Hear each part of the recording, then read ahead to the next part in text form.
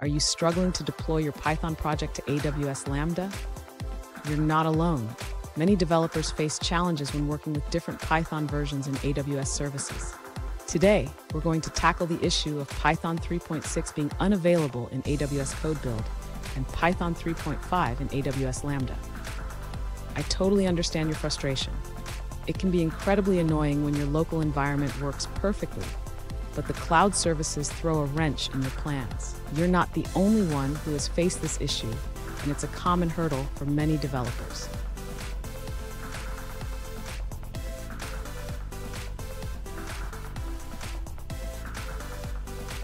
Let's dive into the specifics of your situation. You mentioned that your project, which is a simple API gateway handler, requires Python 3 and uses the newspaper library. You've encountered issues when trying to deploy it through AWS CodeStar, CodePipeline, and CodeBuild. Sound familiar? Let's explore this together.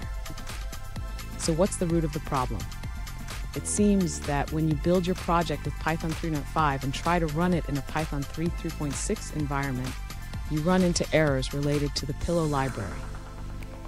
This is a classic case of version incompatibility, which can be tricky to navigate. Stay with me. By the end of this video, I'll share a solution that will not only resolve your current issue, but also streamline your future deployments. You won't want to miss it. To begin resolving the user's issue, we need to ensure that Python 3.6 is available in the code build environment. The user can achieve this by modifying the buildspec.yml file to include commands that install Python 3.6 during the install phase. Next, the user should create a symbolic link to make Python 3.6 the default Python version in the code build environment. This will help avoid confusion when running Python commands. After setting up Python 3.6, the user can proceed to install the necessary packages, such as virtualenv and any other dependencies required for their project. This can also be done in the buildspec.yml file. Now, the user should create a virtual environment and activate it. This will ensure that all dependencies are isolated and managed properly. Finally, the user can package their application using AWS CloudFormation. This step will prepare the application for deployment to AWS Lambda.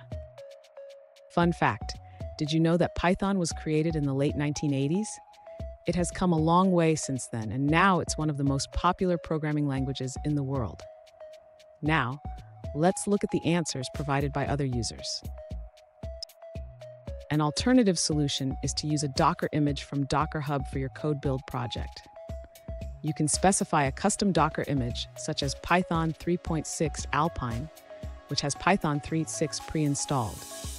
This approach allows you to bypass the issues with the default images in code build. Here's a pro tip.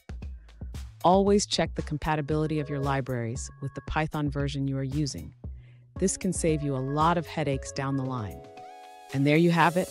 With these steps, you should be able to successfully deploy your Python project to AWS Lambda. Remember, keeping your environment consistent is key. If you found this video helpful, please subscribe for more tips and tricks.